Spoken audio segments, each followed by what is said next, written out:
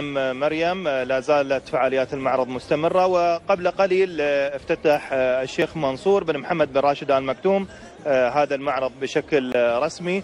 وأيضا عقد على هامش المؤتمر على هامش المعرض. مؤتمر تحدث فيه كثير من المختصين في مجال المعرفة في مجال الصناعة الاقتصاد المترابط حقيقة مع صناعة الهليكوبتر في بشكل عام. مريم أبغي أسلط الضوء قليلا على هذا المعرض من جانب آخر مع الدكتور طلال أبو غزالة وهو أحد المتحدثين في معرض الهليكوبتر في دبي. دكتور انطباعك عن هذا المعرض اولا بشكل مختصر. أنا أعتقد أن قليل من يدرك أهمية النشاط العسكري في كل مجالاته سواء كان في الهليكوبتر أو على الأرض أو على البحر بحياتنا ونحن ندين بالفضل إلى قواتنا المسلحة في كل مكان بأنها تحقق لنا الأمن والأمان. فبالتالي كان مهم جدا أن يعقد هذا المعرض ليقدم أهم تقنيات في مجال العسكري. في مجال العسكري أنا كلمتي ركزت فيها على أن هنالك المعرفة وهي الثورة الصناعية الرابعة والثورة الأهم.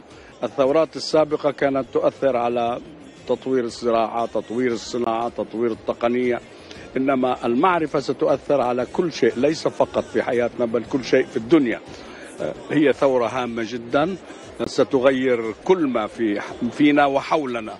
وبطبيعة الحال ستؤثر على الجانب العسكري في أي بلد وفي العالم. ومن هنا كان تركيزي على ضرورة أن أن نعطي الأهمية اللازمة للذكاء الاصطناعي لموضوع ال big data لموضوع الانترنت الأشياء القادمة.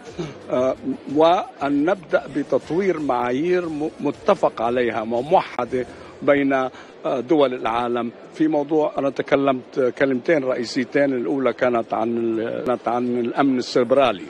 في الأمن السيبرالي يجب أن ندرك أن الأمن لم يعد فقط الحماية من الأحداث بل الحماية المستمرة بحيث أننا لا ليس المقصود عندما يحصل الحدث أن نستطيع أن نتعامل معه كيف نستطيع أن نتنبأ ونمنع حدوث الحدث.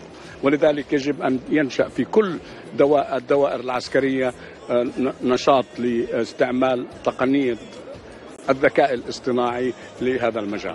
شكرا دكتور على هذه المعلومات حقيقة يعني مثل ما استمعنا للدكتور طلال أبو غزالة أن المعرفة وتقنية المعلومات مهمة جدا لتطوير جميع المجالات بما فيها الهليكوبتر، الطيران بشكل عام، جميع هذه المجالات مرتبطة بالمعرفة والذكاء الاصطناعي الذي تعتني به خاصة حكومة دبي والدولة دولة الإمارات بشكل عام. أنا إذا سمحت أود أن أشير وأثني بأن دولة الإمارات هي الدولة الأولى في المنطقة العربية كلها التي وضعت استراتيجية للذكاء الاصطناعي في كل المجالات. أنا أحيي هذا القرار وأتمنى على كل دولنا أن تبني استراتيجيات حكومية وشعبية وقطاع خاص وعسكري في مجال الذكاء الاصطناعي.